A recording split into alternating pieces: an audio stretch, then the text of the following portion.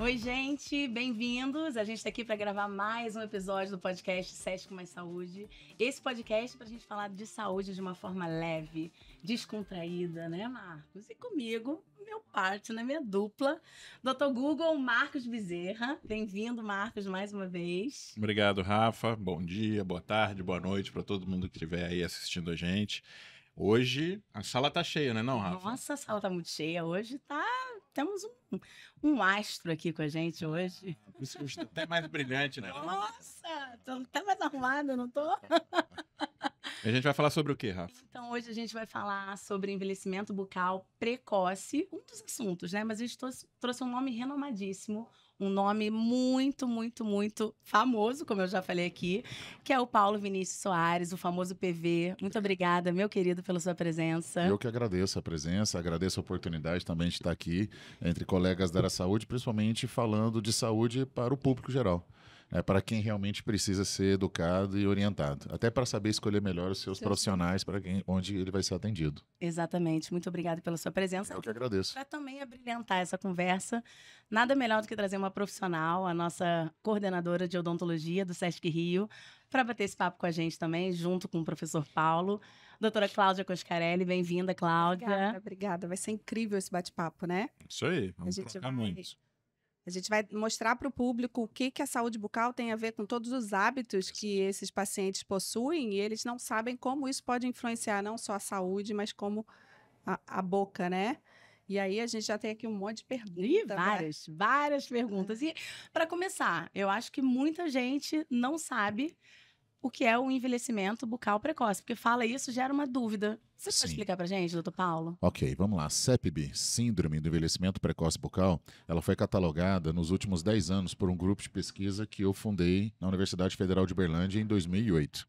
Há 16 anos atrás, nós estávamos conectados com pacientes que reclamavam de dores dentais que não tem nada a ver com falta de higienização. Pelo contrário, a gente percebeu que quem mais sofria de hipersensibilidade tinha a boca limpa. Olha não percebíamos um modelo, um perfil. Traçamos o perfil desse paciente e começamos a estudar o perfil da doença. Então, nós tínhamos pacientes com exposição precoce de raiz, pacientes que procuravam tratamento de canal sem nunca ter tido uma cárie no dente, Pacientes que procuravam esse centro, que na verdade é um projeto de extensão, tá? Eu sou, eu sou professor universitário há 18 anos na Universidade Federal de Berlândia e lá nós temos um projeto de extensão. Apesar que eu estou afastado há quatro anos, esse projeto está hoje sob a coordenação do Alexandre Machado, que é um ex-aluno nosso de graduação, que hoje tem doutorado e é professor da casa. Então o que, que acontece? Nesse centro, nós separamos todos que tinham inflamação, cárie, doenças vinculadas a processo inflamatório, a falta de escovação, porque esse tipo de paciente, ele tem o atendimento dele já previsto na atenção primária e secundária do Sistema Único de Saúde. Ou seja, ele era encaminhado para um outro setor. Nós triamos, separamos os pacientes que reclamavam de água gelada, sem cárie, que reclamava de recessão gengival, mas sem inflamação, pacientes que reclamavam de cavidades na boca, os dentes tinham cavidades, mas quando você olhava a cavidade não tinha uh, vínculo com bactéria. E nós detectamos a doença não cariosa. Isso foi tudo que nós fizemos de 2008 a 2013. Mais de 2 mil pacientes foram catalogados e nós publicamos dois livros na área. O primeiro livro saiu em língua inglesa, mandarim, espanhol e português, é, traçando a doença não cariosa. O que é a doença não cariosa? Uma alteração do estado de normalidade da cavidade bucal que não tem nenhum vínculo com falta de higiene. Um novo perfil de paciente. A questão é que essa doença é antiga. Nós só não tínhamos dados suficientes para ela, uma classificação. né? Uma classificação. Ela recebe diversas nomenclaturas e não tinha um perfil do paciente traçado. Para entender a doença não cariosa, nós aproximamos de medicina gástrica, da gastroenterologia, aproximamos da nutrição, aproximamos da nutrologia, aproximamos da psiquiatria e psicologia. Aproximamos significa estabelecer parcerias, escrever artigos em conjunto entender o ser humano orientadores todo, né? das nossas teses. Eu, nós tivemos 26 teses de doutorado e mestrado nesse grupo. Vários professores foram formados nesse grupo nesses 16 anos, desde 2008, mas co-orientação, colaboração científica real de outras áreas. Então, a, eh, a multidisciplinaridade, a interprofissionalidade, assim, arrisca. É isso. Definindo protocolos clínicos, discutindo casos e produzindo cientificamente. Ok. O que, que a gente percebeu? Que o buraco era mais embaixo, Aí. não o buraco dental. Não, Saúde, não né? esse buraco. É, que o nosso desafio era muito mais embaixo. Por quê? Nós descobrimos que os pacientes pós-bariátricos eram um grupo de risco da doença não cariosa. Nós descobrimos que o paciente com esofagite, grau 3, o paciente com H. pylori, o paciente com refluxo gasofágico tem uma forte relação com a doença não cariosa. Nós descobrimos que os pacientes que dormem mal, os pacientes com baixa qualidade de sono, os pacientes com transtorno de ansiedade, os pacientes com transtorno obsessivo compulsivo, estresse pós-traumático, são grupos de risco da doença. Nós começamos a traçar o perfil não olhando pela boca, nós começamos pela Saúde. boca, mas olhando o paciente. Nós percebemos também. exatamente que compulsivos alimentares, percebemos que hábitos de dieta esportiva, jejum intermitente, a galera do hashtag 30 todo dia, no pain no gain, a galera da água com limão, gratidão, sim, com açafrão, sim, toda essa galera dessa energia positiva, do cuidado com a saúde, provoca um desgaste acelerado dos dentes, nunca tendo cárie na boca. Então, quando a gente pegou todos os grupos e traçamos, nós criamos um diagrama gigantesco da doença. Olha só. Bom, deixa eu O tentar médico, vem- entender Vem o aqui. médico, vem o médico. É, o médico está se coçando aqui. Ah, tem- É, primeiro porque é o seguinte, é, quer dizer que a boca também envelhece. Às É vezes mais rápido que o corpo. Às E vezes quais não. são essas características de envelhecimento de boca? Porque a gente entende muito bem. Exato. Eu, como cardiologista, preciso explicar: olha, o coração envelhece porque a parede do ventrículo ela fica mais dura, as válvulas vão, vão calcificando e tal. Hum. E a boca? Como é que a gente sabe que a boca está envelhecendo? E a boca Quais são os com sinais? A idade cronológica, né? Tem a ver com Exato. hábitos. e aí o paciente jovem pode ter um envelhecimento precoce bucal. Perfeito, Cláudio. Resumiu tudo. É exatamente isso. Quando nós entendemos que uma nova doença estava ganhando força, principalmente na população mais jovem, onde o jovem apresentava os sinais bucais do idoso.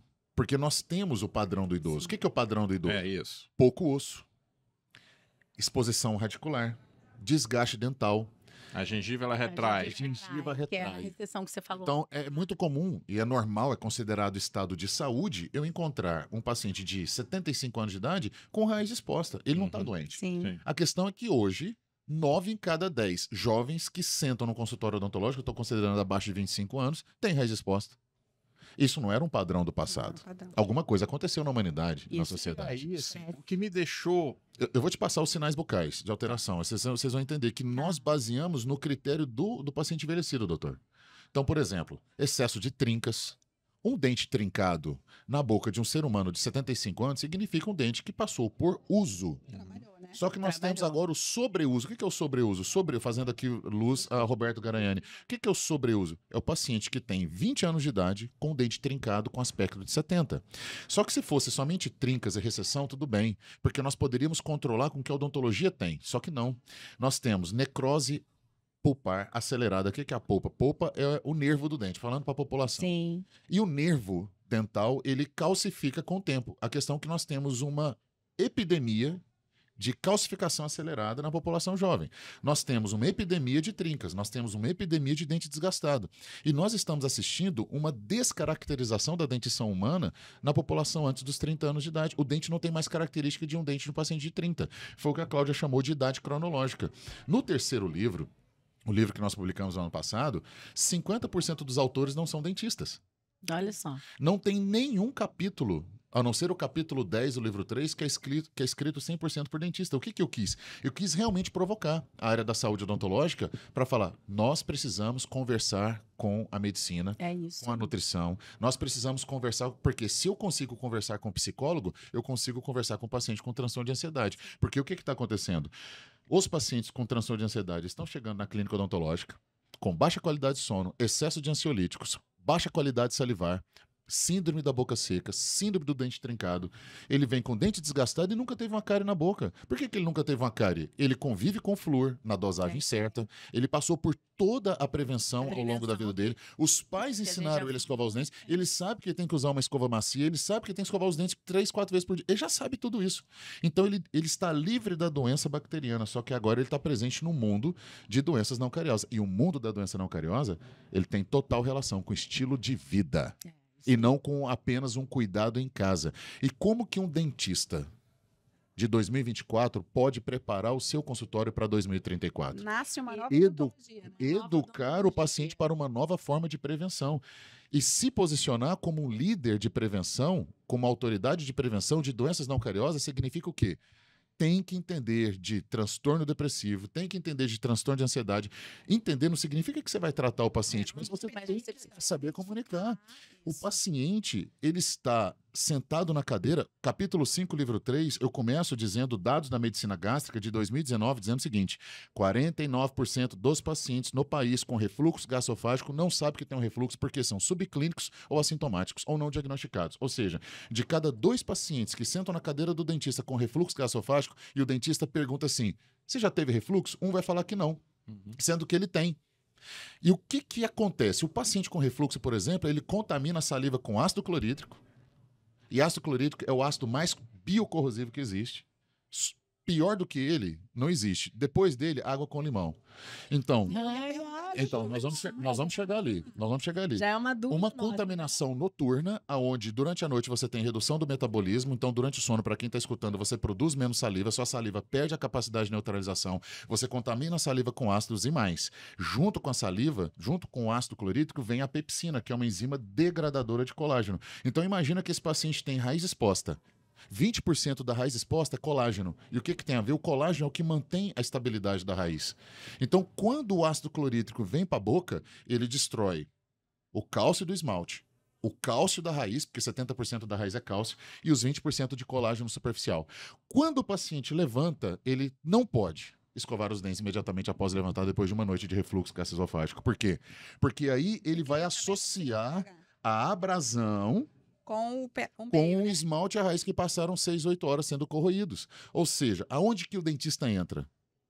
Você tem refluxo, você tem sinais bucais do refluxo. Nós, o dentista aprendeu a olhar para a boca e falar: essa é uma boca de um Essa- paciente com refluxo. Sim. Eu até trouxe o iPad com imagens para ilustrar para vocês, caso vocês queiram, até para estimular a discussão. Sim. Essa é uma boca de paciente com refluxo. 25 anos de idade, 20, 20 a 30% de perda de esmalte acelerado num padrão clássico de um paciente com refluxo. Beleza. O que, que você precisa procurar? Agora, o médico entero- gastroenterologista.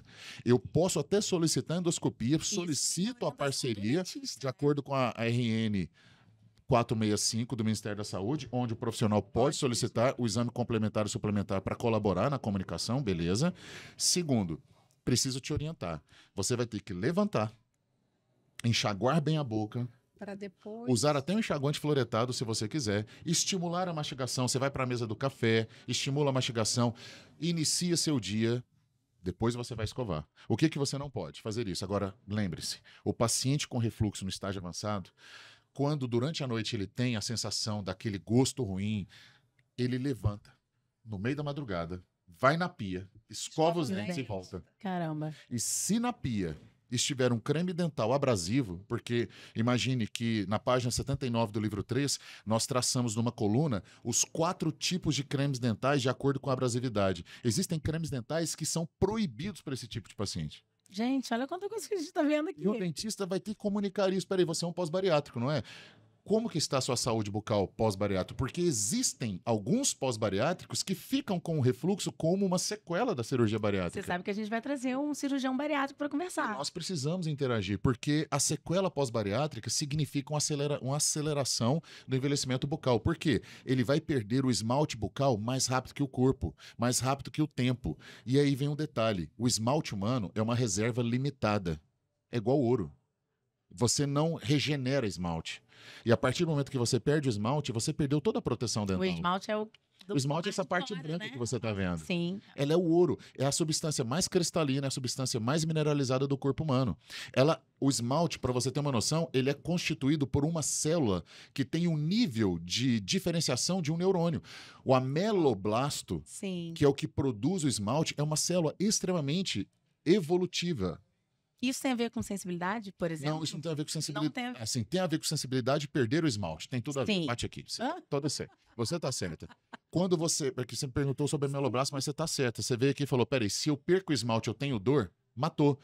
Todo paciente que reclama de água gelada, eu bebo água gelada e dói, ele tem que ser consultado sobre é um paciente de perda acelerada de esmalte. A hipersensibilidade dentinária é o primeiro sintoma da doença não cariosa. Mas PV, não, e eu vou chamar de PV, PV, porque eu já tô. Bate aqui então, tamo juntos em prol da saúde. Vambora, irmão. PV. PV, Manda ver. olha só. Você colocou um hall de, Eu abri o leque, de né? pessoas né, que estão predispostas a esse tipo de, de doença. E é uma Ok. doença. É uma né? doença. Por exemplo, você falou é, da ansiedade. Perfeito. E a OMS, ela, os últimos números da, da OMS dizem que uma em cada oito pessoas no mundo, e nós estamos ali em 7 bilhões, 900 e tantos milhões de pessoas, ou seja, Sim. um bilhão de pessoas tem alterações é, mentais. Perfeito. E a principal é ah, o distúrbio de ansiedade. Perfeito. Sendo que o Brasil, nos últimos três anos, foi eleito o país com Mais mais, ansioso. mais ansioso do mundo. E pós-pandemia, é, houve um aumento de 25% nos números pré-pandemia. A Infelizmente. gente está falando de muita gente. Porque até quem não é, e aí você falou, né, do no pain, no gain e tal. Então, você tá. Tá todo mundo Tá entrando todo nessa? mundo. Doutor, desculpa, é, Marcos. Marcos. pode chamar de Marcos? Pode. Marcos, posso falar uma coisa, meu irmão? Eu arrisco a dizer que é difícil um dentista hoje abrir um consultório às 8 horas da manhã, atender o dia todo, fechar o consultório dele às 6 da tarde e Não atender um paciente com doença não cariosa. Adi- Arrisco a dizer para você que é mais fácil ele atender todos os pacientes do dia com o sinal da doença não cariosa do que ele atender alguém que está livre da doença não cariosa, infelizmente. Porque se eu te mostrar o diagrama, ele é tão, ele é tão da mesma forma que ele é simples, mas ele é tão complexo no sentido de interação, eu digo para você que para quem está com o livro aí na mão e está assistindo o podcast, ele está na página 15. Mas a gente vai botar essa imagem aí. Eu vou depois. mandar para vocês, coloca Isso. Nesse diagrama a gente mostra o seguinte: o dentista ele tem a primeira oportunidade da história de ser um hub De saúde. de saúde. É um resgate, eu acho, né? Ele não é o centro tratador, mas ele é um hub de conexão. O hub de conexão é até é, redundância, porque hub significa conexão. O dentista ele é um hub para conectar profissionais. Eu costumo dizer que a palavra dentista deve ser revista, porque dentista remete a dente. E a última coisa que os dentistas do século que nós vivemos devem tratar Daqui pra é só frente. dente. É só o dente. Nós não tratamos de dente, nós tratamos de gente. Uma luz aí a Ricardo Thanos. Nós não tratamos de dente, nós tratamos de gente. E o dentista tem essa grande oportunidade de se posicionar como profissional que, além dos dentes, ele pode colaborar com a saúde do paciente. Mas- E quando o paciente percebe isso, ele enxerga uma autoridade totalmente diferente, porque os meus alunos que passam pelo meu treinamento, os alunos da comunidade Dentista Pro, que é o protagonista proativo e promotor de saúde, eles recebem essa frase diretamente. Fala, engraçado, nunca um dentista falou isso para mim. Por quê? Porque o dentista formado no Conselho Nacional de Saúde, na LDB, nas diretrizes básicas da educação do ensino superior, onde fala assim, o dentista deve cumprir esse portfólio de disciplina, está defasado, infelizmente. Porque quando você pega a disciplina de prevenção na odontologia, eu não estou fazendo aqui uma crítica, mas eu estou fazendo uma crítica construtiva e positiva, não uma crítica destrutiva, nós temos que entender que a formação do profissional da saúde não estimula a comunicação entre as áreas da saúde. Primeira coisa. Mas no capítulo 4 da resolução que determina a ação do dentista no país, que foi revisada também em 2021, fala que o dentista deve se posicionar como com- com ações interprofissionais. O que que é o interprofissional? Eu tenho que saber conversar com o médico. Com certeza. Eu não quero saber mais do que um médico. E eu não vou praticar o exercício legal da minha profissão receitando. é, é, eu não quero falar o nome de marcas comerciais, vocês quiserem editar. Eu não quero me posicionar receitando medicamentos para tratar refluxo. Eu não quero ser o dentista que. Eu não posso ser o dentista que indica um ansiolítico, mas eu tenho que saber que, na página 208 do livro 3, ansiolíticos influenciam na redução da qualidade salivar A gente tem que saber. sedativos aumentam o refluxo gastroesofágico. E quando eu tenho um paciente que fala assim, doutor, eu faço uso de esse medicamento, um ansiolítico. Qual é a dosagem? Qual é o colega da medicina que passou? Eu preciso interagir com esse colega. Você já está na fase de desmame? Qual fase que você está? Qual, qual é a intensidade? Qual é o uso? A dosagem é correta? Porque, infelizmente, nós vivemos num país que as pessoas recebem uma receita, mas falam assim: ah, hoje eu tô mal, eu vou dobrar. Ou, de repente, a receita está até vencida, ele nem atualizou. A Infelizmente, automedicação. a automedicação, isso tem que ser falado. E o excesso de ansiolíticos reduz drasticamente a qualidade da saliva. E eu preciso dizer que paciente com baixa qualidade salivar é zona de risco de doença não cariosa. Porque a saliva ela tem fatores protetores riquíssimos para o nosso paciente. Não só para as doenças bacterianas, mas também para as doenças não bacterianas. Por exemplo, um exemplo só. Na saliva, você que está me assistindo aí, na sua saliva tem uma proteína chamada mucina. E a mucina, ela tem uma característica, por ser uma proteína de cadeia longa, ela tem uma característica de proteção do esmalte contra ação ácida. É muito comum você encontrar o paciente com a saliva bolhosa, aquela saliva rala. Quando você pega a saliva não estimulada e faz, inclusive você em casa pode fazer isso, você pega um pouco de saliva e você faz o teste, a sua saliva não cria aquele ponto de fio. Não existe um fio. Existe zero fio. Esse é um tipo de saliva pobre em mucina. E o que, que a saliva pobre em mucina significa? Qualquer água com limão, qualquer vinagre, qualquer molho vermelho, qualquer molho shoyu, qualquer café sem açúcar, qualquer bebida ácida vai fazer um estrago na boca desse paciente. Já não é uma questão de ele pode, ele não pode. A questão é eu tenho pacientes que fazem um shot de limão pela manhã, eu tenho pacientes que tomam suco de laranja sem açúcar, porque o açúcar é cariogênico e faz mal, mas o suco de laranja também faz mal para a boca por ser ácidos. Ou seja, eu tenho que olhar para falar para o paciente: peraí, você não pode com essa carga ácida. A sua dieta, normalmente o meu paciente pega o bloco de notas do celular, preenche a dieta dele da semana e manda para o WhatsApp da clínica. Quando eu vou sentar com o paciente, eu sei que o paciente põe na boca. Os De vez hábitos, né? encontro o paciente que faz a dieta do vinagre para queda capilar, porque a vizinha dele falou para ele que ele tem que tomar o vinagre de maçã três vezes por dia. E o vinagre não é neutralizado pela saliva humana de uma forma correta. Agora, pensa um paciente que está com queda capilar por causa do transtorno de ansiedade, está fazendo uso de ansiolítico, perdeu qualidade salivar e está tentando salvar isso com vinagre de maçã. E dorme Ele mal. chega na minha cadeira e fala assim: Eu quero fazer clareamento, mas eu tenho uma coisa para te contar. Eu tenho dor quando faço clareamento. O que, que o dentista pensa? Ah, o gel clareador, fazer clareamento provoca dor. Não. Clareamento não provoca dor. Clareamento provoca dor em paciente com hipersensibilidade dentinária. Ou seja, onde que está o erro aqui? Primeiro, para o dentista entender que eles têm um, existe um perfil de paciente que vai reclamar de dor pós-clareamento, mas a culpa não é do clareamento. Segundo, eu tenho um paciente que não está sendo educado. Eu tenho um paciente que não está sendo educado. Aí se você falar assim para mim, PV, 16 anos de pesquisa, três livros publicados, traduzidos para quatro línguas, mais de 60 artigos publicados no PubMed, o que não é muito para um pesquisador de alta performance, mas eu me posiciono como um híbrido. E não faço nada sozinho. Eu represento aqui um grupo, tá? Um grupo grande, que hoje, inclusive, a geração formada pelo grupo está no ensino superior. Posso dizer para vocês o seguinte: vamos virar a chave a partir de agosto.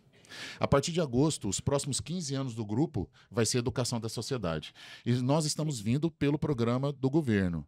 É, vou adiantar aqui pela primeira vez, oficialmente, vou usar até o podcast de vocês para comunicar que uma cartilha de envelhecimento precoce bucal e doença não cariosa vai ser publicada pelo governo federal, pelo Ministério da Saúde, para toda a base, uma cartilha com linguagem pública dos 11 principais grupos de risco no envelhecimento precoce bucal. Ou seja, nós vamos diretamente a uma cartilha de linguagem social Pro- que vai ser distribuída para os 33 mil dentistas da rede pública, mas é uma cartilha para a sala de espera. Vou transformar ela num e-book e nós vamos soltar isso na rede social com a força que nós temos. Eu conto com a ajuda de vocês, conto com a ajuda do SESC, para que a gente faça isso. Por quê? Divulga isso. Se o paciente for educado, ele vai chegar para o dentista e falar assim: doutor, você sabia que eu tenho doença não cariose? Você sabia que eu tenho envelhecimento precoce bucal? Eu vou mobilizar o dentista de baixo para cima agora. Exatamente. Porque faz 15 anos que a gente capacita os dentistas. Eu tenho um treinamento presencial de 8 horas eu tô na turma 278.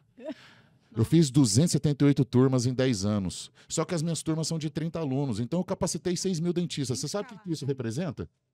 2% da odontologia. Eu tenho uma plataforma de ensino à distância, o Dentista Pro, que tem 1.500 dentistas comigo. Então, se você pegar essa galera, gente, faz 15 anos que a gente tá ralando. E não capacitamos 3% da odontologia. 3%. Imagina o que, que os outros 397 mil dentistas estão falando para o paciente na cadeira odontológica. Mas aí vem a questão da demanda também. Né? Acho que a partir do momento que a população entender isso, e aí a outra pergunta que eu estava aqui na minha cabeça era assim: quando é que vocês vão começar a participar dos congressos médicos? Porque os médicos também precisam saber disso. saber disso. Eu vou perder noite de sono se você não me convidar a partir de agora aqui, porque eu, eu quero estar com vocês. É Entendeu? Eu vou apertar meus dentes, eu vou envelhecer minha boca aqui agora. Quero saber. E assim, eu vou te dizer, e não precisa ser eu. Posso dizer uma coisa? Eu tenho pelo menos 50 nomes para indicar. Pessoas que estão prontas entre doutores, mestrandos, inclusive dentistas clínicos, bons dentistas, que estão prontos para comunicar. Então, só está faltando oportunidade. Esse é o movimento da área da saúde em prol da saúde. E o SESC está aqui para isso, né? Eu, eu estou à disposição. O paciente tem que ser educado, mas ele ainda não é. Ele não consegue identificar esse profissional nós não temos ainda, mas é um projeto de falar assim: esse dentista está pronto para te atender, mas pelo contrário, até para eu falar, procura esse dentista, mas procurar por quê? Como que eu vou vender uma solução se eu não tenho um problema, criado estabelecido? sabe que tem um problema. Exato. Por exemplo, é, você é, sabia? Exato. Você sabia que, que 90% dos casos de raiz exposta 90% dos casos de raiz exposta não tem vínculo com processo inflamatório, bacteriano ou técnica de escovação. Ponto. Isso nós já sabemos. Desses 90%, então imagina, de cada 10 pacientes que procuram o dentista, 9 com raiz exposta não tem nada a ver com técnica de escova ou bactéria. Beleza. Dos casos com raiz exposta, metade não dói. Por quê? O sistema se autoprotege. Uhum. E o fato de não doer não é uma solução, é um problema, porque o nervo está pagando a conta. Isso Vai significa uma calcificação precoce. Quando você tem um paciente com raiz exposta sem dor, você tem um problema mais profundo. Sabe por quê? Calcificação pulpar, necrose pulpar, isquemia pulpar pode levar o paciente para o tratamento de canal. Eu vou dizer assim que para o dentista o tratamento endodôntico. Para a sociedade é o temido tratamento de canal. Ah, por que temido? Porque o tratamento endodôntico é o último passo antes do implante. Por quê? Porque ele pede a percepção. A partir de agora, com tratamento de canal, eu não tenho mais a sensibilidade. Eu não tenho mais a percepção. Se o meu dente cariar, trincar, eu não vou perceber. A gente, nós desenhamos o que a gente chama de espiral da morte do elemento dental. E o elemento dental é um órgão e você deve valorizar o seu dente. Ele é um órgão, ele é rico em esmalte, ele foi feito para você mastigar, ele ter satisfação, satisfação nutritiva, ele ter, você ter autoestima e você ter percepção. Todo o seu sistema nervoso central depende da percepção dos dentes. Quando você perde essa percepção dental, você perde a sua força, você perde a sua maneira de mastigar e conversar, atrapalha a sua nutrição, sua fonética, sua estética, sua autoestima, atrapalha tudo. Você não pode simplesmente chegar e falar o seguinte: ah, tá doendo, tira meu dente. Eu sei que isso ainda existe, infelizmente. Muito. Né? Mas tudo bem. O elemento dental ele tem uma conexão direta com todo o seu sistema. Ok, primeiro ponto. Existe uma espiral da morte do elemento dental. E a espiral da morte do elemento dental, a penúltima fase dela é o tratamento endodôntico. A fase final é o quê? O implante. O que é o implante? O implante é a morte do dente. Eu vou falar pela terceira vez no maior congresso da América Latina de implantodontia e nunca fiz um implante. E os gestores do Congresso me convidam para quê? Porque eu sou o contraponto do Congresso, porque eu sempre começo o Congresso de Implantodontia falando o seguinte: a melhor estrutura que você pode ter no alvéolo, alvéolo é a loja óssea onde encaixa o dente. Isso. É um dente, não é um implante. Óbvio que o implante é uma ótima tecnologia para reabilitar o desdentado. Mas por que, que eu tenho que ter um desdentado? Uhum. Eu não quero um desdentado. Eu sou da área da saúde. E tem como eu ganhar dinheiro aqui, fazendo uma luz para os dentistas que estão assistindo, tem como você ganhar dinheiro e pagar as contas da sua família vendendo prevenção. Eu não preciso mutilar as pessoas para ganhar dinheiro. Agora, nesse ponto, vem a questão, porque quando você fala prevenção e odontologia, o que, que os dentistas foram formados? Cárie, escova de dente, fio dental e flúor. Cárie, escova de dente, fio dental e flúor. E, infelizmente, isso ele aprende em casa. Para que, que ele vai no dentista para aprender só cárie? Fio... Aí vai falar assim, ah, tá vendo? O, o PV tá falando que não precisa... Não é isso. Mas as pessoas aprenderam isso. As pessoas aprenderam a escovar os dentes. Vocês acreditam? Vocês acreditam que existe uma população que hoje tem 28 anos de idade, nasceram em 1996 e frequenta os nossos consultórios nunca tiveram a cárie na boca? Eu chamo de paciente zero cárie. As pessoas conseguiram vencer a cárie no primeiro Sim. terço de vida. Se ela passou por toda a adolescência sem cárie, por toda a juventude sem cárie e vai entrar agora na fase adulta sem cárie, é provável que eles vão alongar a vida sem cárie. Gente, nós vencemos, só que tem um detalhe. Esses são os principais pacientes da doença não cariosa. O paciente senta na minha cadeira com dois celulares na mão. É isso. Ele não olha para mim. Não. Eu tô conversando com ele, aham. Aham. Porque isso aqui é fator de risco de apertamento dental. Isso aqui é fator de risco de transtorno de ansiedade. As pessoas perdem dente por causa disso aqui. Porque eu estou num aplicativo tendo que resolver cinco assuntos ao mesmo tempo. E o dentista tem que entender isso. Pera só um minuto, eu preciso de 15 minutos da sua atenção. Ou se não, faz o contrário. Eu vou te mandar tudo pelo WhatsApp. Eu comunico com você pela rede social. Atenção para a saúde dela. Gente, né? é uma é marca. Quem nasceu em 96 em diante são chamados geração Z e são conhecidos, entre aspas, como os nativos digitais.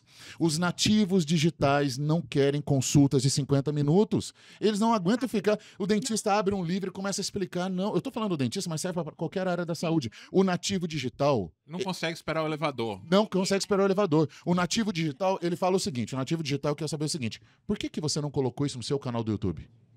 É isso. O nativo digital fala assim: nossa, que interessante. Hum, ah, não pode? Uhum. Deixa eu te falar uma coisa. Por que você não me falou isso? Eu não precisava ter vindo aqui para aprender isso. O nativo digital, ele quer ser treinado sem te conhecer. O nativo digital, ele quer o conhecimento antes de te conhecer. Anota isso para você que é da área da saúde e está assistindo. O nativo digital quer conhecer tudo o que você sabe sem te conhecer. Você não precisa explicar que o pós-bariátrico é fator de risco de hipersensibilidade numa consulta paga. Por que, que você não coloca isso no seu Reels, no seu TikTok, no seu YouTube? Agora pergunta, quantos dentistas tem TikTok? Não. curtos, hein? Me convence em 90 segundos. Exato. É a lei, é a lei do mercado. Aí você fala assim, PV, quem é você? Tá, agora eu vou te apresentar o PV Projeto 2034. Nos próximos 10 anos, eu estou treinando uma geração de dentistas para aprender a comunicar no mundo digital. Porque no mundo digital existe o pseudo profissional da área da saúde, existe o pseudo líder, pseudo autoridade. Sabe quem são as pseudo autoridades? Não tem ética, não tem conhecimento, são charlatões, mas utilizam a ferramenta da influência da maneira correta. E sabe o que, acontece no mercado hoje? Bons médicos, bons dentistas, bons, bons nutricionistas, bons fonoaudiólogos, bons fisioterapeutas que não estão conectados no mundo digital. Quem são eles? Geração X e Y. Os dentistas que acreditam que o paciente vai sentar na mesa dele, tem uma mesa, ele abre um livro, aí ele vai explicar a doença para ele. Se o seu paciente é uma geração X, beleza, quem que é a geração X?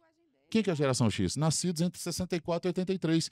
O, se o seu paciente nasceu até 83, uma sessão de 50 minutos dando aula para ele, legal. Mas olha, os millennials, que hoje predominam na população ativa, quem são os milênios? Entre 84 e 96. Eles nasceram na globalização, gente. Os caras nasceram na internet. É pulverização de conhecimento. Como é que você convence ou explica para um paciente que ele tem que comprar um creme dental com nível de abrasividade abaixo de 100? Primeiro, eu tenho que explicar que o nível de abrasividade pode ir até 250 no Brasil, que é a lei de 1995 e deveria ser reescrita. reescrita. Eu sou a favor, inclusive escrevemos um PL, um projeto de lei, para reescrever a lei de 95. Porque quando você pega os melhores países com relação à prevenção de desgaste dental no mundo, não se permite mais do que 120 nos melhores mercados, quando você fala em prevenção. 250 é um RDA, RDA é a taxa de abrasividade, de uso profissional. E eu digo para você que tem cremes dentais que escritos no creme dental assim, ó, creme dental clareador no Brasil, que o abrasivo do creme dental tem a capacidade de desgaste maior do que o abrasivo que o dentista usa no consultório. Só que o dentista usa o abrasivo no consultório duas vezes por ano na manutenção e o cara usa três vezes por dia. E tá escrito assim, ó. A falta de informação. Infelizmente, tá escrito assim, ó, vegano, tá escrito assim, ó, sem flúor, tá escrito assim, é, carvão ativado, tá escrito assim, whitening, bleaching, é, tá escrito é, sem, tá todo maquiado num pacote para o desgaste dental. Agora você pensa. Vou sair daqui com uma síndrome de ansiedade. Bem-vindo ao meu mundo, Marcos. Bem-vindo ao meu mundo, porque eu tô ansioso para chegar em 2034, cara e dizer o seguinte, e dizer o seguinte, 10% da odontologia se comunica bem na rede social e nós vamos mudar a história da odontologia. Nós não precisamos de 90%, nós precisamos de 10%, nós precisamos de 40 mil dentistas falando bem. Sabe por quê? Todo dentista sabe que na cidade dele existe um colega que sabe menos que ele, menos habilitado que ele, mas parece que é mais lembrado do que ele, porque o mais conhecido vence o melhor. Eu queria que você guardasse isso. E você, paciente que está escutando, para de valorizar profissional por número de seguidores. Para de valorizar profissional por número de curtida. Para de valorizar o profissional que aluga um Porsche na concessionária, põe um drone filmando ele e fica falando que ele é o popstar da área da saúde porque ele não sei do que. Esse cara está usando ferramenta de influência para te influenciar. E infelizmente, Infelizmente, foi um editorial que eu escrevi. Eu sou chefe de, chef de eh, sou editor-chefe da JCDR eu escrevi no editorial assim: por que, que os melhores dentistas não são os maiores influenciadores da odontologia? Inverta o sujeito. Por que, que os maiores influenciadores na área da saúde não, não são os melhores profissionais? Porque os melhores profissionais não estão empreendendo aonde deveriam empreender, na própria marca e no conteúdo. E não adianta se fechar. Não adianta assim, se fechar. Ah, não, porque... Não adianta, não. Ai, eu de câmera. Ele é um charlatão, ele é um charlatão, mas está vendendo para o seu paciente. Ah, ele é um charlatão, ele é um charlatão, mas na cidade, quando roda uma pesquisa assim, ó. É ele que ganha. Melhor médico melhor dentista, melhor fisioterapeuta. Ele está sendo lembrado pela sociedade. Sabe por quê? Nós, nós vivemos numa época pós-revolução industrial que é chamada época da influência. Era da influência, desculpa. A era da influência, ela não é uma tendência, ela não é uma moda, ela é uma era. E várias gerações viverão nessa era. E nós somos apenas a geração de transição. O que é a era da influência? A distorção do que é real eu posso criar um personagem e te convencer que eu sou o melhor. Sim, sim, com certeza. Eu posso criar um personagem, eu posso criar um conceito e te derrubar tudo que você tem baseado na luz da evidência científica e dizer para você o seguinte: creme dental sem flúor é saudável, porque esse é um dos maiores charlatanismos que existe. É dizer que quem usa creme dental fluoretado tem dano na glândula, na hipófise, parará. Eu te dou 50 artigos para cada um que você me der dizendo contra o flúor na odontologia ou na área da saúde. Eu não estou dizendo que nós vamos beber um balde de flúor, nem estou dizendo que o flúor não tem potencial cancerígeno. Mas, pelo amor de Deus, a maioria dos influenciadores anti-flúor são charlatões digitais. E eles usam uma ferramenta poderosíssima, chama ferramentas de influência. Então, se você me perguntar assim, PV, você tem um treinamento? Eu tenho. Qual que é o nome do treinamento? Influência e posicionamento digital para profissionais da área da saúde. E o que, que eu quero? Eu quero que você pegue todo o seu conhecimento e aprenda a influenciar a sociedade. Sabe por quê? O conceito de autoridade na área da saúde hoje não é número de títulos de pós-graduação. É o profissional da área da saúde da geração X, quem é a geração X? A geração X, eu entro num consultório hoje, eu consigo ver isso tão claramente. Eu entro num consultório médico, eu entro num consultório psiquiátrico, independente da área da saúde, eu falo, geração X é a cabeça desse consultório. Por quê? Muito quadro pendurado. Pós-graduação em Harvard, pós-graduação na USP. Não estou dizendo que você não tem que fazer pós-graduação. Claro. Mas ele acha hum, que, o número de é. quadro pendurado vai. Não, gente. Isso é uma autoridade interna. Tipo assim, nossa, cheguei no seu consultório e descobri que você estuda. Mas externamente a sociedade não percebe isso. E se eu começar a fazer leitura de currículo todo dia, hoje eu vou fazer uma live. Qual que é? O meu currículo. Fiz pós-graduação em 1997. Gente, é sério isso? Ninguém valoriza isso. Eu nunca tive um paciente que sentou na minha cadeira e perguntou: você é especialista? Sim. Você é. tem doutorado? Porque eu tenho pós-doc. Eu estudei em Chicago. Eu tenho pós-doc. Uhum. Mas e daí? daí? daí? Posso dizer uma coisa? Meu pós-doc tem 10 anos. Tem coisa no meu pós-doc que eu não uso mais. O mundo é tão rápido que é. o seu título não vale para mim. E é legal a sociedade estar tá escutando isso. Porque isso aqui, sinceramente, é um recado para quem acha que título vai te dar autoridade. Título vai te dar conhecimento e competência, não te dá autoridade. E também é um recado para a sociedade para reavalie seus líderes de opinião, reavalie suas referências. Quem é a sua referência na área da saúde? Quem é a sua referência na medicina gástrica? Quem é a sua referência na odontologia? Quem é a sua referência na fisioterapia ou na nutrição? Quem você segue? Você está seguindo um charlatão, provavelmente. Porque ele está usando ferramentas de influência para te conduzir para o que ele quer. Interesse comercial, seitas, filosofias empíricas. Mas, PV. Desculpa te interromper, só finalizando aqui aonde eu desejo. Eu desejo chegar numa clínica onde, quando eu, eu conheço o profissional, eu falo assim: eu sei como você pensa. Sim, é isso. Por quê? Por Porque você me influenciou ao que eu devo pensar. Agora eu preciso de tratamento, doutora. E graças a Deus, isso tem acontecido na minha clínica e na clínica dos nossos, dos nossos mentorados. Sabe o quê? O paciente senta na minha cadeira e fala assim: Eu já sei que você vai pedir endoscopia, eu já sei que você vai falar de refluxo, eu acho que eu tenho refluxo, mas nunca fiz endoscopia. Ele já chegou Quando ele me dá isso, significa que ele assistiu meu YouTube, ele assistiu meu Reels, ele assistiu meu, ele ouviu meu Spotify, porque eu tenho Spotify. Meu Spotify fala assim, ó, vida saudável, boca doente. Por quê? Atleta isso é utiliza uma rede social chamada Spotify. E o atleta, o No Pain No Gain, o hashtag 30 todo dia, ele é um risco de envelhecimento acelerado por quê? Ele sofre de refluxos, não pela doença, mas refluxos provocados no crossfit, na uhum. corrida. É muito comum em competições de crossfit o aluno correr no banheiro, provocar o vômito e voltar para o treino. PV. Porque é o, é o, excesso, é a fadiga, é o excesso. Ok. Segundo, ele faz os disotônicos, bebidas energéticas, ele faz uso de toda a dieta, toda a dieta ácida, porque normalmente o que é saudável é ácido associado com jejum. Você pega a galera do pedal, eles ficam horas em jejum. Quando chega, ele manda uma Coca-Cola, zero, porque o açúcar faz mal. Só que ele esqueceu de uma coisa e o ácido. Então, eu, eu, queria que você entendesse nesse contexto aqui, você que está me assistindo, que os profissionais da área da saúde estão conectados por você. Nós somos poucos ainda, mas nós acreditamos exatamente nisso. E parabenizar mais uma vez aqui, com todas as palavras, o SESC por essa ação. Eu estou muito feliz de estar aqui. Isso. Eu estou muito feliz de estar aqui. Feliz por quê? Porque nós podemos mudar a história da prevenção. Eu não preciso necessariamente mudar a sua técnica cirúrgica, mudar o seu procedimento, a sua tabela de preço, mas nós podemos prevenir. Por exemplo, eu posso ensinar um paciente a pegar um espelho, abaixar o lábio e observar se ele tem raiz exposta. Se ele tem raiz exposta e dói, procura uma ajuda porque a doença está ativa. Se ele tem uma raiz exposta e não dói, procura ajuda porque você está sofrendo de calcificação precoce do seu nervo. Ou seja, eu posso fazer isso. Aonde? Na rede social. Eu posso fazer isso num canal de comunicação. E é por, por isso que a gente Spotify- esse canal. A Exato. gente criou com esse propósito. E é muito bom estar aqui. trazer Quero seguir vocês. Eu quero que aqui seja um ambiente da gente poder interagir entre colegas. E o Spotify, por exemplo, é uma rede de impacto do atleta, porque o atleta ele ele malha. treina escutando. É. E é assim, Liga. eu vou fazer uma oração, vou fazer um, o, o sermão da montanha ali, não, seis minutos. Spotify, gente, seis a no máximo dez minutos.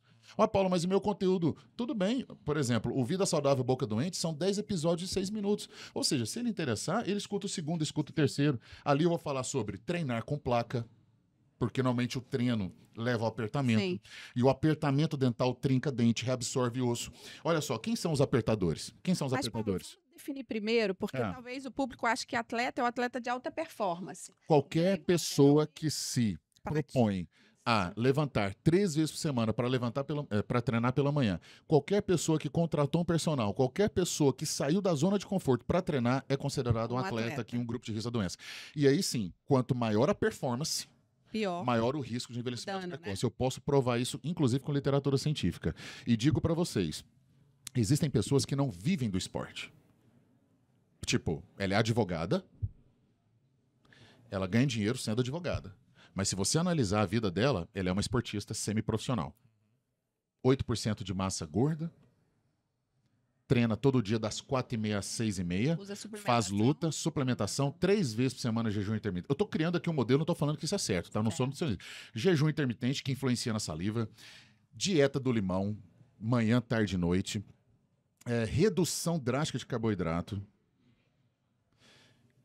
precisa de qualidade de sono, mas o, o- o trabalho dela não te permite. Ela entra no Ozempic, ela entra num, num, num- num- num- desculpa, no Ozempic não, num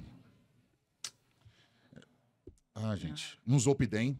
Zolpidem. Ela entra numa linha de Zolpidem. Eu posso citar medicação ou não? Claro. Tá, tudo bem. Pode. Ela vai no Zolpidem, tudo bem. Qual que é o problema do Zolpidem? E isso é muito importante porque assim tá saindo esse mês que nós, o Brasil, ele tá numa epidemia de abuso dos hipnóticos, entre eles o Zolpidem, que é o mais conhecido. Doutor, e é tão bom, cara. Desculpa, é engraçado, a gente tem essa mania, mas Marcos, né? Mar- É. Marcos, cara, que, que bom ter alguém da medicina aqui na mesa, porque isso, para nós da área da saúde, colabora demais. Olha só, página 208, página 208 do livro, final do terceiro capítulo. O terceiro capítulo tem quatro autores: um psiquiatra, um psicólogo e dois dentistas. Na página 208, nós falamos assim: quais são os efeitos bucais relacionados ao excesso de zolpidem? Refluxo gastroesofágico, alteração do paladar e cheirostomia. O que é cheirostomia? Para de produzir saliva. Meu amigo, se você parar de produzir saliva, Boca você tem que zerar sua dieta ácida. Deixa eu te falar uma coisa. Paciente com cheirostomia não pode. Ele tem que abandonar a, a- a linha que o nutri- nutrólogo da moda passou para ele. O que, que é o nutrólogo da moda? É aquele É o- que vai encher paciente de jejum intermitente, encher o cara de limão e castanha. E zero. Tipo assim, ó, castanha e limão. E quando eu vou conversar com os nutrólogos, com todo respeito aos meus amigos nutrólogos, que inclusive o, o- o Eduardo Fonseca, meu nutrólogo, se escutar isso aqui vai querer matar, mas ele sabe que é a minha opinião. Entendeu? É o seguinte, ah, e o pH da dieta? Porque eu tô, eu tô interessado no pH. Ele fala assim, não, o pH da dieta foi balanceado. Porque o nutrólogo, ele faz a conta final. Ele põe assim, ó, limão, limão, limão. Isso. Depois ele põe castanha, castanha, castanha. Tudo bem, Zerou. zerou. Mas espera aí, para odontologia não funciona assim. Porque Você tem um período que você O vai período. ácido. Eu quero o pH na hora. Aham. Se o paciente sofre de algum tipo de hipossalivação ou até cheirostomia, então você tem paciente saudável, o hipossalivação e o cheirostômico. Hipossalivação. Hipossalivação significa saliva. redução de saliva. Galera Sim, Ele sofre. Ah, ele sofre, sofre. Esse tanto de limão aí, meu amigo, vai acabar com o meu trabalho, vai acabar com a saúde bucal do paciente. Deixa eu fazer uma pergunta pessoal. Mas, Esse- assim, esse é um ponto que nós temos que analisar. E como nós não estamos conectados ainda, e estamos agora no SESC, é legal isso, cara, a sociedade vai ganhar muito escutando isso aqui. Eu tive contato esse final de semana com uma água com pH 8,5 ou 10. Tudo bem. Fala isso pra gente, assim, a importância do pH, tem que explicar pro público o que é o pH, o que Perfeito. é saliva ácida. E... Toda água que você compra, ela é obrigada a colocar o pH da retirada, da fonte. Ele- Então ele fala assim, ó, a temperatura e o pH local. Existem águas com pH 4, abaixo de 4, acima de 4. Você per... você sabe disso, eu sei, Claudio, mas você perde esmalte quando o pH está abaixo de 5.5. Perder esmalte significa o seguinte: se eu perdi o esmalte bebendo uma água com limão que tem pH 2.2, ou numa noite de refluxo eu tenho pH 1.9, ou fazendo um tomando uma jarra de suco de laranja, um copo de suco de laranja que tem um pH 3.3, se eu tomei o suco de laranja e depois eu tomei a água, eu colaboro na diluição do suco, então eu ajudo a saliva. E como eu sou um paciente saudável, a saliva vai cumprir a função dela nos próximos 10, 15, 20, 30 minutos, vai acontecer a neutralização. De repente até menos do que isso, em 5 minutos, dependendo da sua saúde salivar. Qual é a questão? Você faz uso de ansiolíticos ou Pidem. Você está você tá naquela linha doente de um medicamento para dormir, um medica- medicamento para focar, um medicamento para emagrecer, um medicamento para ser feliz, um medicamento para ser do quê, uma pílula para isso, uma pílula para aquilo É. e parará. Beleza. A sua, a sua glândula salivar não trabalha bem fazendo isso. Você não tem saliva. Então, meu amigo, abandona suco de laranja, abandona café sem açúcar, abandona o limão até você tratar. E o dentista é o profissional que vai saber fazer o diagnóstico salivar. E, de novo, hábitos saudáveis, o que conversa com toda a área da saúde. Aí na água, quando você me, você me perguntou, por exemplo, existem algumas águas que você- o meu paciente com xerostomia ele é orientado. Ele falou, ó, antes de comprar água. Olha Porque às vezes a mesma marca tem retirada da água em duas fontes. Então você vai pegar, inclusive eu fiz um post sobre isso. Tá aqui, gente, ó, tá vendo? Ó, mesma marca. Não vou falar o fabricante aqui. pH 7.3 e essa 4.2. Porque é o pH da fonte. Essa aqui não pode, porque você tem xerostomia. Aí você fala, Paulo, o dentista tem que fazer isso? Tem. Tem. Tem. Tem. O dentista tem que fazer isso. Paulo, dá pra fazer isso tudo numa consulta? Não dá. Mas eu não quero fazer isso numa consulta. Eu faço isso no meu canal do YouTube. Uhum. Aí o paciente, meu paciente recebe o link do YouTube. Fala só, bem-vindo ao grupo de pacientes da minha clínica que tem xerostomia. Toda semana eu vou te mandar uma informação sobre bebida ácida, tá? Eu vou te educar. Se você perguntasse para mim o que, que você deseja para o futuro, eu desejo para o futuro profissionais da saúde que se posicionam como educadores É na área. O que, que é um educador? O educador é aquele que não está afim de aplauso nem número de curtida. Ele está afim de alteração de hábitos, mudança de hábito. Fazendo luz aqui é James Clear, que escreveu um livro chamado Hábitos Atômicos, que todo profissional da saúde tem que ler. Para um profissional da saúde mudar o hábito de alguém, quem tem que mudar primeiro é o profissional da área da saúde. Você tem que mudar os seus hábitos para mudar o hábito de alguém. Charles Duhigg também falou isso no Poder do Hábito. E quando você leva isso para a área da saúde, o que, que é interessante? Eu estou escrevendo o próximo livro. O próximo livro fala sobre isso. Eu lanço ele em janeiro. Como que o profissional da área da saúde deve se posicionar como educador para a próxima era. Ele tem que entender que as ferramentas de comunicação, elas são muito mais digitais do que presenciais e dependem muito mais de estratégia do que de conhecimento. Às vezes, com pouco conhecimento, você consegue impactar. Às vezes, com muito conhecimento, você não consegue impactar. Porque nós vivemos hoje uma abundância de informação. Se eu abrir meu WhatsApp agora, se eu abrir meu canal do YouTube, se eu abrir meu Instagram, É. esse excesso de informação, além de aumentar o transtorno de ansiedade e diminuir a qualidade de sono, ele também confunde o consumidor. Uhum. Ele não sabe para onde que ele vai. As pessoas estão perdendo o senso de realidade e o direcionamento de referência. E E aí, não sabe Paulo? nem a fonte, né? E aí, Exato. Paulo, assim, é, a gente fala muito na, na saúde do SESC e tudo, a gente fala muito sobre saúde mental. né? E aí, é, a gente tem conseguido trazer os dentistas para isso, porque, por exemplo, você está falando veementemente sobre questões de pessoas que tomam muitas medicações e muitas medicações psicotrópicas e tudo. Perfeito. Isso não quer dizer que a gente não não não, Não existam indicações de, de utilização. Sim, com certeza. Mas o que a gente fala sempre é que as medicações elas têm, é, elas tratam uma consequência Perfeito. e o que levou você àquilo foi algo que o remédio não vai resolver. Trata o sintoma, mas o trata a causa. Exatamente. Então, o que falta muito e a gente tem conseguido trazer todos os profissionais, os dentistas para isso, gente. Olha só, tá aqui, você vai fazer isso, o seu tratamento é isso, mas você sabe que a causa disso é a falta de saúde mental. Exato. Então, a gente com- começar a trazer hábitos, e aí hábitos de sono, a higiene do sono, a gente fazer a alimentação, o mindfulness, a, a atividade física, e mostrar que a atividade física não é só para o músculo, a atividade física é para a cabeça. Os momentos de desconexão. Exatamente. Então, você está falando do Zolpidem. Gente, o Zolpidem tá lá na bula para você utilizar no máximo três semanas. Três, até bateu aqui. Três semanas. Que bom escutar E isso. você conhece que usa Zolpidem que com três semanas parou. Depois que ele, entre aspas, aprende a dormir baseado nisso, Ele não dorme mais sem isso. É. como cara. Mas aí acontece que o cara, antes de dormir, ele tá lá com o celular o tempo inteiro. Né? E aí ele não sabe que assim, a melatonina ela, ela tá é, é produzida na, no, no escuro. No Sim, escuro. Então, se você tem uma luz qualquer e a luz né, das telas é extremamente potente, você não produz a melatonina. Então, assim, o que a gente está querendo trazer para todo mundo, e eu acho que todo profissional é exatamente isso que você está falando.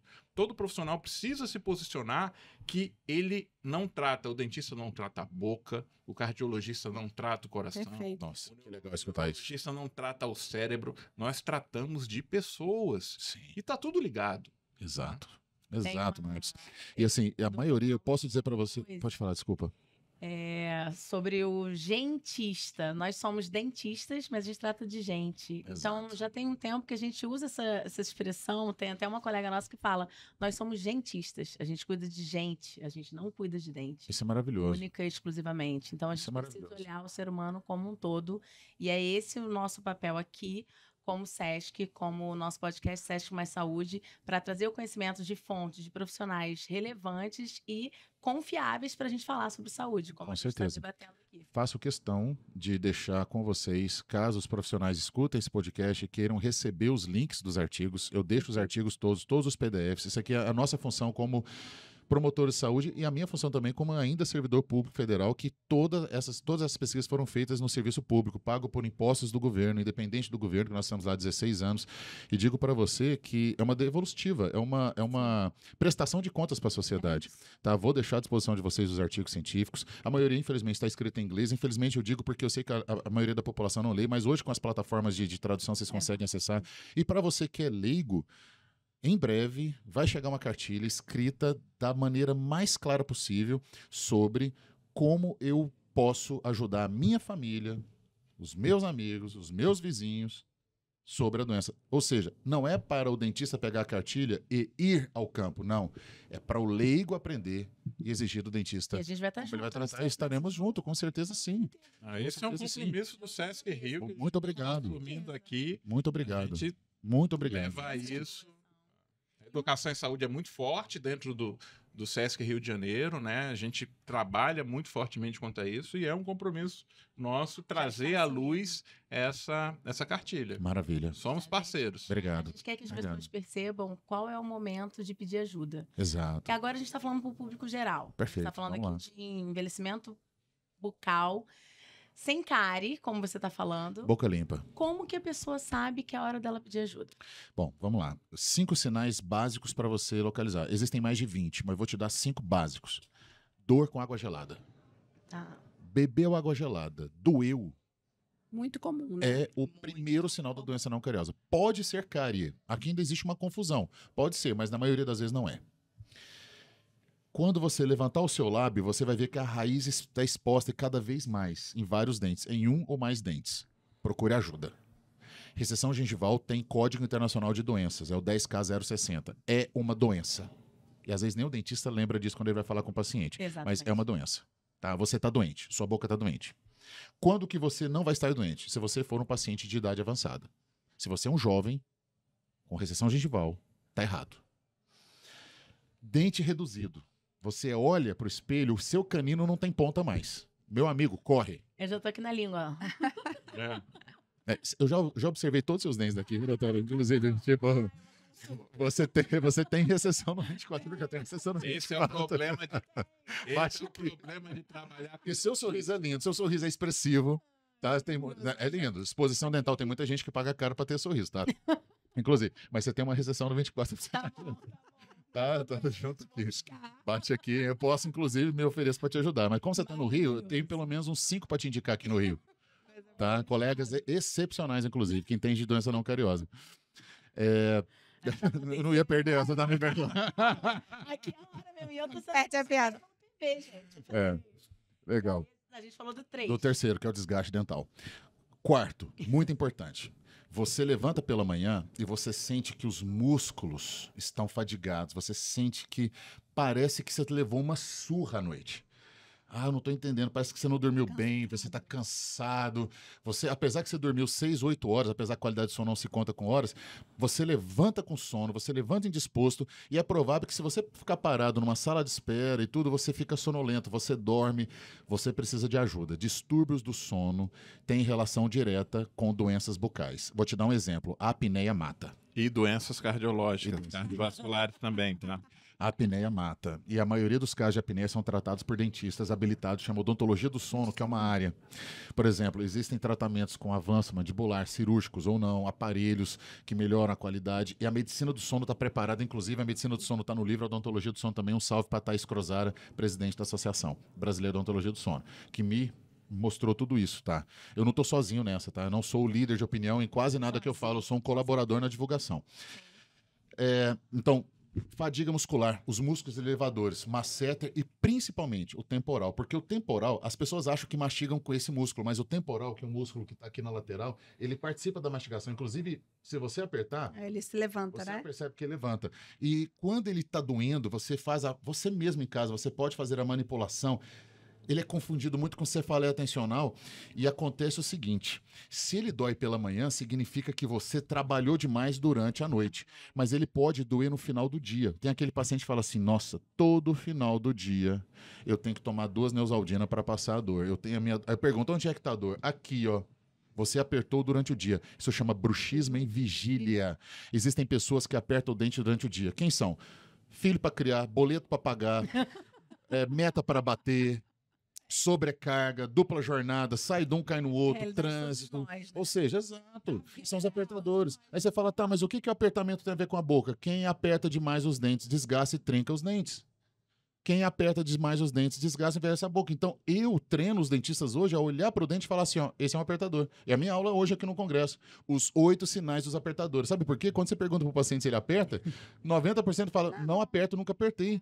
Porque ele não sabe que a posição de repouso é ficar com o dente desencostado e não com o dente encostado. Eu já acordei com essa dor aí que você tá falando. Ah, eu sei, sua recessão gengival tem tudo a ver com isso aí, cara.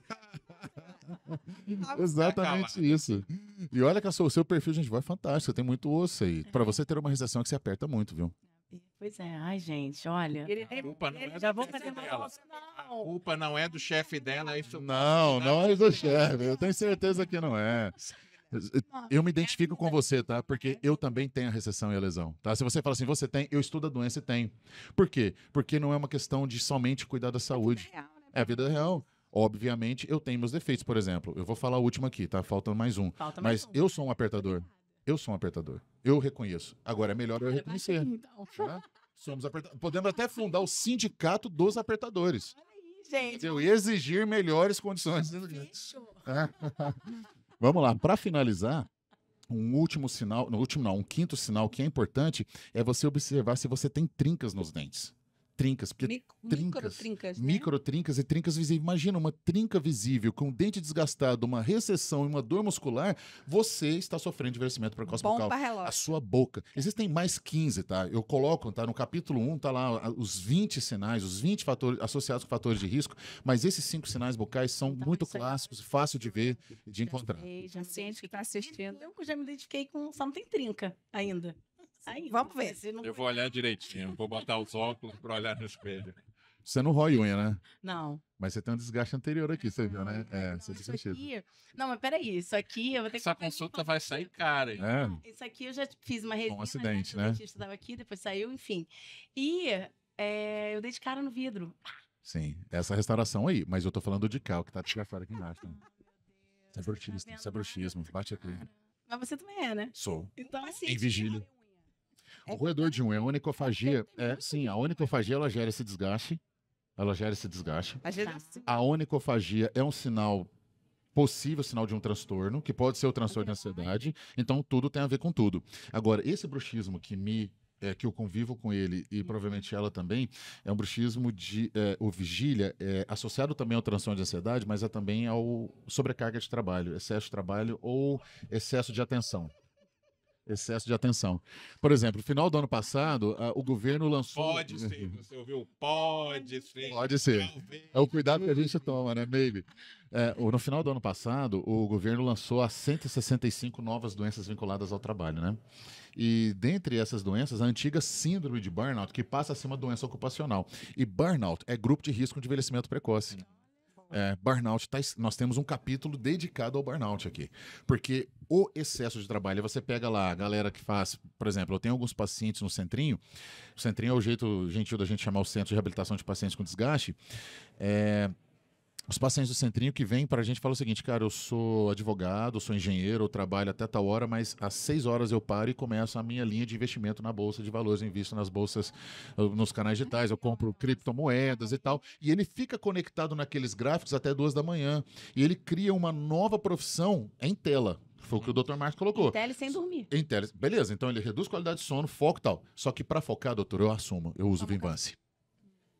Aí ele entra numa anfetamina sem indicação.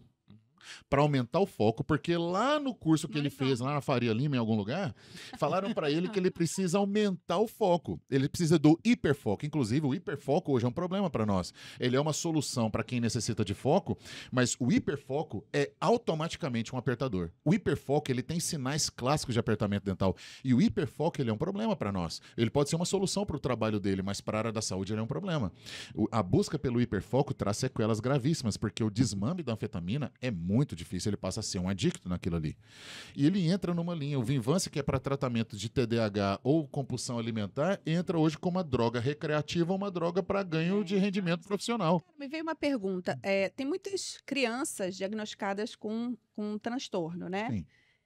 E se essas crianças já, desde muito pequenos, fazem uso dessa medicação, ainda em dedição mista ou decidro? Existe o efeito colateral do Vinvance, que é o bruxismo vigília, existe. Existe. Só que aí vem uma questão, é o contraponto. É o Aonde, risco-benefício. é, aonde eu preciso atacar primeiro, porque eu Sim, tenho o dentista questão. Totalmente atento, inclusive nas dosagens e tal. É o cuidado que o Marcos colocou aqui. Nós não estamos falando que você não tem que usar o que seu médico recomendou, pelo amor de Deus. É só uma questão de dosagem, sobreuso, automedicação. Nós somos contra isso. Agora, as áreas têm que interagir, conversar. Perfeito. Porque, ó, de repente, para tratar um problema, eu tô destampando, cobrindo o santo e estampando outro santo. Tá, mas qual que é o santo principal agora? Pô, é cardiológico? Risco de vida? Ótimo, eu vou rebolar de cá para te ajudar. Eu vou reduzir a abrasividade do seu creme dental, eu vou utilizar uma saliva artificial, eu vou te ajudar a melhorar o seu ambiente bucal até você sair dessa fase. Agora, o que, que eu não posso? É ficar nesse contraponto. Então, um indica isso, outro indica aquilo. O cara vem para a clínica com a caixa, já com a- as caixinhas bonitinhas compradas lá. Essa medi medi- medicação semanal. Caramba, você tem 26 anos de idade, você toma isso tudo, irmão. E a Não, você tá importância de ajuda, calma aí. É, é isso mesmo? Tipo, medicações da segunda-feira, oito comprimidos? Não, tá errado, tem alguma coisa Eu errada. acho que a importância do paciente, além da, da questão da automedicação, de quando o dentista ou o médico perguntar as medicações, que você saiba dizer quais são, né? Ah, isso aí. Porque o paciente, às vezes, certeza. ele nega, né, o uso de alguma medicação A e aí importância de o ser. mesmo preparado não consegue ajudá-lo da forma Agora, correta.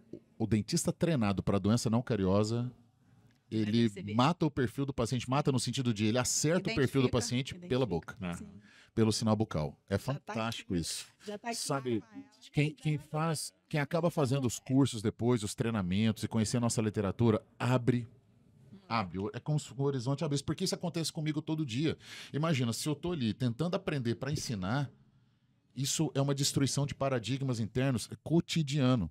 E você tem que estar pronto para dizer o seguinte: caramba, eu sou dentista há 30 anos, sempre falei isso, mas isso não está certo.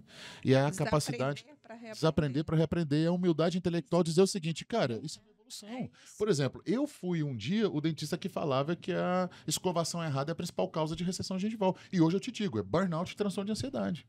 Burnout causa retração gengival. Transtorno de ansiedade causa. É uma causa indireta. Ele altera o estilo de vida do paciente. O estilo de vida alterado provoca reabsorção óssea. A reabsorção óssea provocada pelo excesso de apertamento provoca retração gengival. Ou seja, nós estamos na ponta do sistema agora. A recessão gengival é só a ponta do iceberg, foi o que ele falou. O dentista que trata a recessão gengival, ele está fazendo o tratamento do sintoma. Ele não está tratando a causa. E normalmente nós não trataremos a causa, porque o dentista não vai tratar a ansiedade. Mas tem que falar. Tem que Mas falar. tem que falar. Tem que falar para o paciente. Olha, você tem um problema, eu vou Eu vou e tratar. dar a solução, encaminha para um colega. Perfeito, é isso. né? Cria o problema para criar a solução. E não simplesmente falar assim, ó, isso deve ser ansiedade, procura seu psicólogo. Não, Não. isso é negligência, não. Você tem sinais de transtorno de ansiedade, pode ser. Aplica um questionário de Beck que está validado na nossa área. Mensura, faça um pré-diagnóstico, não que o questionário de Beck ele fecha, mas é um questionário, tá aqui no capítulo 3, vai te orientar. Você aplica o questionário, hum, é, posiciona, é uma autoavaliação, fala, olha, eu trabalho com o doutor fulano, o doutor fulano é um psicólogo, começa a conversar com ele, recomenda, ou seja, dá uma referência, não solta o paciente. Você está fazendo bem para essa pessoa. Paulo, de cada 10 pacientes você recomenda, os 10 vão procurar? Não. Mas eu durmo com a minha consciência tranquila Você que eu estou fazendo o melhor. É, O que eu não posso é papel negligenciar. Se dois procurarem, eu estou ajudando alguém. Provavelmente eu estou ajudando uma família. Porque isso é comportamental, estilo de vida e hábito. E provavelmente eu estou ajudando uma família aqui. É isso. Quando eu encontro a hipersensibilidade na mãe, eu encontro num filho ou no marido. Porque eles comem a- o Sim, mesmo alimento, dieta. eles usam o mesmo creme dental e eles vivem as mesmas angústias e pagam os mesmos boletos. Sim. Ou seja, normalmente eu estou, ou seja, para você que está me assistindo aqui da área da saúde e tem um viés comercial, pensa assim, ó, é uma oportunidade de você atender um paciente e ser indicado para outros pacientes no meio. Por exemplo, uma família, quando eu falo família, eu estou falando só pai, mãe e filho. Eu estou falando a família do CrossFit, Sim, a família do pedal, porque são uma família. sim. É. Cara, os Uma caras, os né? Caras, meus pacientes que fazem crossfit, eles falam assim, cara, hoje eu tenho o, o- o- a revelação amiga invisível da família, mas eu tô doido pra chegar amigo invisível do crossfit. É engraçado porque eles são considerados uma família. Sabe ali, festas de finais de ano? Sim, Eles- e sempre aí, tem a confraternização dessa família. Eu já fui chamado. Na confraternização do CrossFit, fala assim, PV, fala 30 minutos pra gente sobre como o CrossFit pode mudar a área da saúde. O meu paciente me levou Incrível. Que- e eu vou bater papo incrível. com eles. É. É óbvio que ali eu também tô vendendo o meu peixe, eu também tô vendendo a minha marca e minha clínica, mas Você no tá melhor sentido, de pessoas eu, também. Eu não tô fazendo campanha de semana do crossfiteiro. O crossfiteiro que aparecer aqui ganha 20% de desconto. Não, não é isso não, né? Essas campanhas comerciais idiotas, não. Sim. Desculpa a palavra, tá? Eu tô até me empolgando um pouco aqui, tá? Não é, não, não é isso. Tipo, venha com o crossfiteiro e ganhe um tratamento. Entendeu? Não, não é isso. Desculpa o termo crossfiteiro também porque eu sou super a favor da prática de exercício. Mas é tipo, não, o contrário. É você falar o seguinte: olha, eu tô aqui com um profissional da saúde e eu sei que vocês têm cinco minutos para mim. Em cinco minutos eu vou te dizer o seguinte: quanto mais você treinar, mais dente você vai desgastar. Quer saber mais sobre isso? Eu tô disposto a ajudar. Ponto, acabou. É isso, é isso. Você, você já fez o seu papel Já de fiz o meu papel. profissional da saúde. Keller, ajudar mais aqui, pessoas. É. isso, faz, faz essa leitura. disposição, Me siga, vai Não é redes. Simplesmente fazer uma parceria com a academia e falar quem indicar ganha 10% no clareamento. isso Não, Tá, pelo amor de Deus, eu sou totalmente contra, na minha área, na área da saúde, esse tipo de posicionamento comercial, porque você traz um viés muito mais comercial do que saúde. Gente, o viés da saúde traz automaticamente o viés do tratamento. Então, vai na linha educacional, é mais fácil. Agora, eu falei que ele era um astro, não falei? Não falei para vocês que ele ia dar uma aula aqui. Eu tô encantadíssima, Obrigado. encantadíssima com essa aula que eu E aí, assim, E até com o meu diagnóstico. essa segunda temporada tá complicada, hein, Rafaela? Nossa. Porque, assim, a gente não quer parar as conversas, Não, né? não quer. Então, assim, a gente A já gente tem tá- a terceira, a quarta, a gente já tem que criar webséries, né? A gente convida a PV para quando tiver o lançamento. Com certeza, eu quero voltar com o manual na mão. Isso aí, o manual na mão. A gente vai falar sobre esse manual, né? É o manual social. O nome dele é Manual de Doenças Não Cariosas e Envelhecimento Precoce Bucal. É uma cartilha, né? Maravilhoso. vamos fazer. Já- É totalmente ilustrada. Sobre isso, olha aí. Totalmente ilustrada. É fácil de- de- né? As atividades de educação e saúde, fazendo também essa, essa ligação, porque a gente tem uma área de educação e saúde, a gente tem uma área de nutrição, a gente tem uma área de saúde da mulher, Perfeito. a gente fala de saúde mental e tudo, Reposição hormonal. Não, se a gente entrar numa linha aqui Tudo, gente. de, brux- de bruxismo, vigília, baixa qualidade de sono, doenças bucais não cariosas com alteração hormonal, é outro capítulo. Então, tipo assim, tem uma porrada de conteúdo. Dá muita coisa pra gente. Muito conteúdo e assim, estou à disposição de vocês. Inclusive, estou à disposição também para fazer a ponte com outros profissionais que trabalham nessa mesma linha. Por exemplo, eu acho, acredito, tá, que deva estar aqui, tá? Mas deva no sentido de colaborar. Ana Cecília Aranha falando sobre cremes dentais. As pessoas precisam entender. Quando ela chega numa gôndola, uma gôndola, o que que eu tenho aqui? Por que, que o creme dental que está posicionado na minha altura visual, ele tem um intuito comercial e ele pode ser perigoso para minha saúde? Por que, É, que tá alguns lá cremes dentais podem ser indicados ou não? Tal, preço, realmente mais caro é melhor ou não? Ana Cecília a Aranha, Débora Saliva. Débora sobre saliva, né, que é um grande nome no Brasil e no mundo sobre saliva. O que eu aprendi saliva, aprendi com ela e com a Cecília Guiar. A Cecília Guiar também recomendo aqui para vocês. a Andréa Tolentino para falar sobre como a prática de esporte pode influenciar na saúde bucal. Thaís Crozara, que é hoje o maior nome que nós temos sobre odontologia do sono, e ela interage muito bem com o Instituto do Sono, que ela trabalha com a equipe do Instituto do Sono em São Paulo. Eles fazem uma ponte enorme sobre pesquisa, ela tem muita coisa sobre como o distúrbio do sono pode influenciar na saúde bucal e como que o dentista pode colaborar no tratamento. Ah, vou deixar assim, debate pronto. É, é Roberto Garanhani. Trago o Garanhani para cá para falar sobre o bruxismo e vigília, os apertadores dentais. Já tô com várias ideias. Ah, Roberto Garanhani, ele tem uma linha do tipo, é aquele professor que ele, ele é ele tem muito conhecimento, mas ele traz uma forma cômica de entender como que o estilo de vida hoje está mudando a saúde bucal no quesito do apertamento dental. Uau. Eu aprendo muito bruxismo e vigília com ele. Tá? Tô dando nomes assim que são temas sociais. Sim, é isso. São temas sociais. Tá? E eles vão conseguir comunicar de forma social com vocês. Tá? Ah. Me veio de bate pronto aqui esses nomes, tá? Eu quero te agradecer imensamente. Obrigado. Mas pode cobrar a consulta dela, tá? Obrigado. O Pix. Vou te passar o Pix. Ah, eu, tipo, cara, esse é um vício, tá? É, de frente, sorrisão aberto desse jeito aqui, caramba, né? A iluminação tá ótima, tá? Olha, quero agradecer muito Obrigado. a sua presença, a sua disponibilidade para a gente conversar, falar para as pessoas o que elas precisam ouvir. E, gente, sigam. Quer falar seu Instagram? Instagram, dr.paulo V. Soares. Todas as redes, né? É ou só Paulo V. Soares, vocês vão me encontrar. E também tem um canal no YouTube, o Aula com PV. Lá você vai saber esses conteúdos todos que ele está falando, entendeu? É. Aí é, é, bem, bem, bem sério, né, Marcos? Sim. E te agradecer também, meu querido. Obrigado, foi. Né? Meu eu, médico, doutor Google aqui. Eu, eu, fico feliz em participar dessas conversas, dessas discussões e tal, mas a gente sempre fica com um pouco de medo também, né? E a gente precisa mudar essa realidade, né? É isso. Aqui, ó, já é isso. É. É Cada isso. episódio que eu gravo tem uma mudança. Mudança de perder peso, mudança de. Gente, vai chegar tudo. Calma. isso, tudo no seu tempo, né? Você não precisa correr, né? Você só não pode ficar parado, né? 1% todo dia, como diz o LJ, um, devagar. Isso aí. Movimento. É. Cláudia, é querida, muito obrigada. obrigada pela sua presença. Brilhantou aqui o nosso bate-papo, viu? Sim. Obrigada. A gente está juntas lá no SESC, então Sim, agora todos os dias. É dentista Obrigada, viu? Obrigada de verdade. Estou te esperando lá na comunidade, tá? Seu projeto. Estou lá, só marcar o dia e a hora. Beleza. Tá bom? Prazer. Obrigado, eu, eu tá? junto, viu? Obrigado. Ah, tamo junto aqui. Tamo ah, aqui, ó. Obrigado, tá? Obrigado. Tá? Parabéns pelo trabalho de vocês. Então, com isso, a gente encerra mais o episódio. Eu vou ficar aqui, vou fazer uma consulta particular para ver o que, que ele vai me trazer. Rafaela e... tem um problema com o microfone. Ah, é. ah, eu tenho que trazer o microfone, é verdade. E com isso, a gente encerra mais um episódio. Vou deixar um beijo e um sorriso para vocês. Tchau, tchau.